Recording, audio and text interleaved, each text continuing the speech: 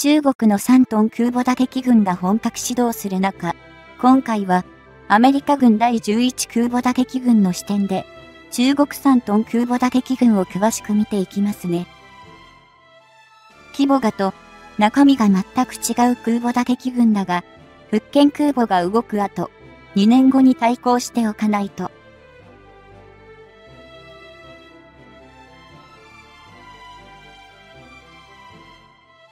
2022年4月8日から10日にかけての3日間、中国軍は台湾本島の周囲を取り囲む形での軍軍事演習を敢行し、この直前にアメリカを訪問し、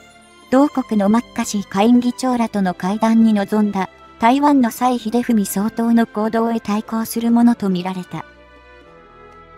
今回の中国軍によるこの台湾本島の周囲を取り囲む軍事演習は、昨年2022年8月に、当時のアメリカのペロシ下院議長らが台湾訪問を行った後のものと比べれば、期間的にも、規模的に比較的に小規模ではあった。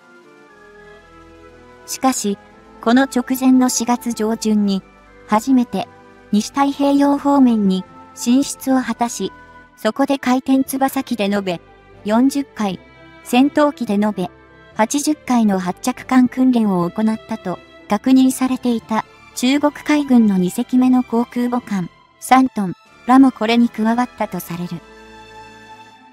これまでに中国軍が実施してきた台湾に向けての軍事演習の際には、台湾海峡を隔てた西側に中国大陸は面しているため、中国軍の航空機は、西から東の台湾本島に向けて飛来、接近してくるのが常であった。それが、今回、西太平洋方面に進出した航空母艦、3トンが、その軍事演習に投入されたこともあり、台湾側では、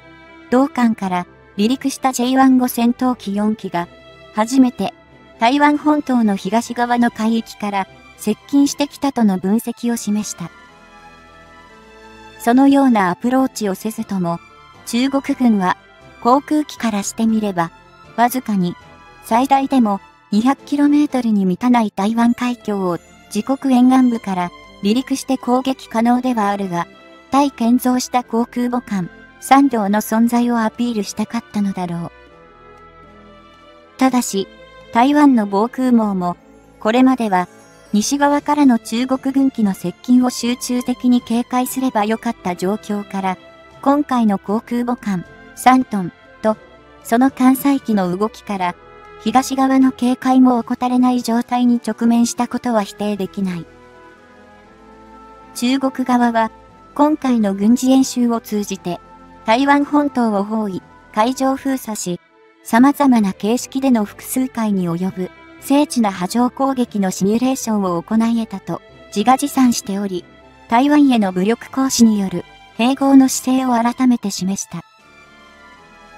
こうした中国側の台湾に対する武力行使という手段を示唆する行動は、強敵に見れば、いつもの恫喝と感じられなくもないが、実際に、それを実行に移せる能力を、中国軍が手にしようとしているのか否かは別問題であろう。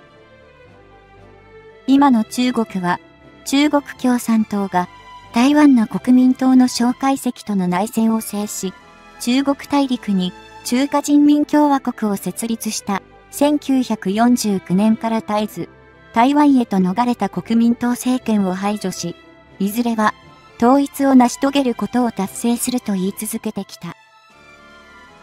しかし、実際には、わずかな距離しか隔てていない台湾海峡とはいえ、これを都会して、台湾本島に陸上部隊を上陸させて制圧することは、軍事的には決して容易ではなく、近年の軍事力の拡張で具体化させてきた状態である。さて、今回のこうした中国軍による軍事演習の観光を受け、アメリカは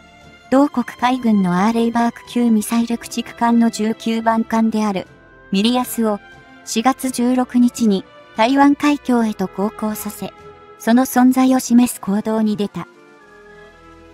これはアメリカが掲げる自由で開かれたインド太平洋という理念をこれまで通りに主張するものであり、こうしたアメリカ海軍艦艇の行動は、一昨年の2021年が延べ12回、昨年の2022年が延べ9回に及んでいる。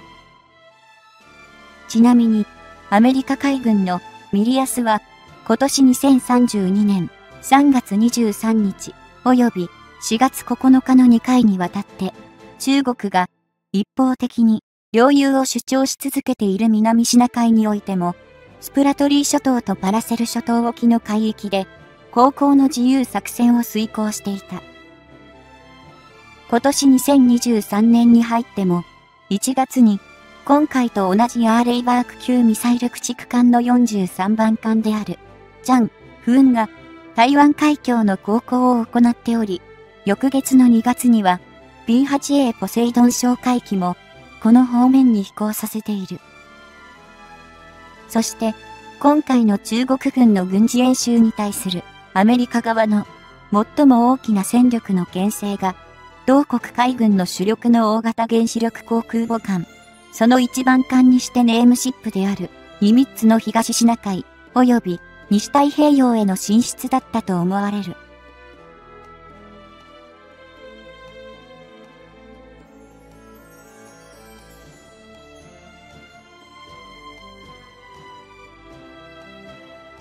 アメリカ海軍の航空母艦、ミニッツを中核とする空母打撃軍は、今年3月28日には、韓国の沖合の海上で、同国海軍との合同軍事演習を行い、釜山にもその後寄港しており、その目的は、多発する北朝鮮のミサイル発射に対する牽制だった。ここで、航空母艦、ミニッツは、およそ6年ぶりに、韓国の港に入ったことで、注目を集めたが、これは、韓国でも、昨年2022年5月に、新たに、インスツエツ大統領が就任。全文在トラ大統領時代の北朝鮮との融和路線を変換したことも影響しているのだろう。この動きに、引き続き、航空母艦、ミニッツらの空母打撃軍は、東シナ海から西太平洋にかけての海空域において、日本の海上自衛隊の艦艇との合同軍事演習も行っており、その牽制対象を北朝鮮から中国へと移した状態だった。日本の周辺海域における、こうしたアメリカ海軍と海上自衛隊との合同軍事演習も、ロシア・ウクライナ戦争の余波もあるためか、あまり、大々的には、日本のマスメディアの報道の対象にはなっていなかった感もある。ただし、アメリカという国家自体は、1972年に当時の同国大統領であったリチャード・ニクソンが、電撃的に中国を訪問したことでそれまでの敵対的な追中国政策を転換。1979年に中国の談笑兵が訪米して国交の正常化を果たした経緯がある。そこでアメリカはそれまで中国という国としての地位を台湾に認めていた立場を捨て中国共産党政権下の中華人民共和国を正当な中国とする判断を行い、その手前台湾を国家とはみなせない曖昧な政治姿勢を続けている。中国と台湾とは、これまでに3度の大きな台湾海峡危機と呼ばれる軍事的な緊張関係に及んだことがあるが、現在においては、その最後とミサされている3度目が、1995年から1996年にかけて発生したと解釈されている。このいわゆる第3次台湾海峡危機は中国側が台湾に向けてミサイルの攻撃実験を強行したことから正規したもので当時の台湾の李登輝総統が民主化と独立を施行しているとして中国側が軍事的な威嚇を行ったものだ。李登輝総統はアメリカのコーネル大学の卒業生であり、同大学が台湾の民主化と独立を施行している彼に演説の依頼を企画したことに、中国は過剰に反応。アメリカが台湾問題に介入するならば、ロサンゼルスを核兵器で攻撃するとまで言い切った。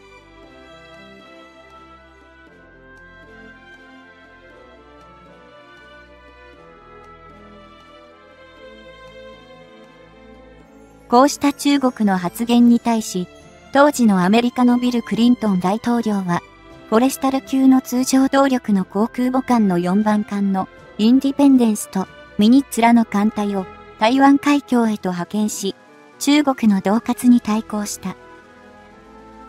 インディペンデンスとミニッツの艦隊の台湾海海峡の通過を、当時の中国は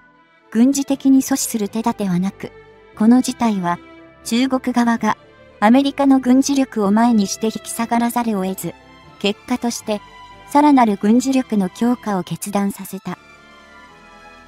今回の中国側の軍事演習への対抗措置として、第3次台湾海峡危機においては、絶大な存在感を示したミニッツが用いられたことは、何らや因縁めいた流れを感じ、巣には折れないが、その件で餓心昇胆を強いられた中国は変わっている。改革開放路線によって経済的な基盤を強化した中国は、今やミニッツらの艦隊の派遣くらいでは簡単に引き下がらないくらいの軍事力の増強を実現しており、かつて同艦らの派遣になす術がなかった頃とは確実に異なっている。中国軍には実戦経験が乏しい、ロシアに由来する兵器、兵装が多いというウィークポイントもあるが、今のロシア・ウクライナ戦争において、ウクライナ側が西側兵器による反転攻勢を成功させなければ、日本も枕を高くはできないだろう。